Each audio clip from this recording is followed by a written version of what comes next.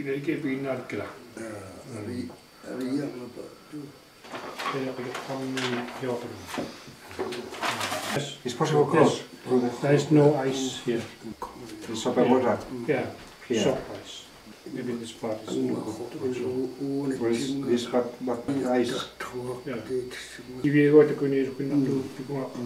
Kakachin amo kui. Because there's uh, cracks. Yeah, Uh, here. many crack.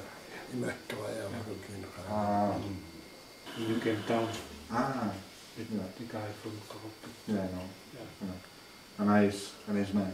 Yeah, Very friendly and all. yes, he's one. still there. How many people live in Kekasa? Maybe two family. Maybe 12 persons. Yeah, Wow. at least. You are from Siorapaluk? Yeah. He lives now in Siorapaluk. Yes, Uh, to halibut fishing. the season Yes. for halibut fish. Right now he's fishing. You will see the place where he's fishing halibut. It could be make this in seven days? Udah in about number two. Or our schedule is uh, so tight. Yeah, a little bit short time, but it's possible. In Kekasa, uh, there are people living or it's abandoned? No, there's no more people. Thank you very much. Bakush. Yes. Bakush.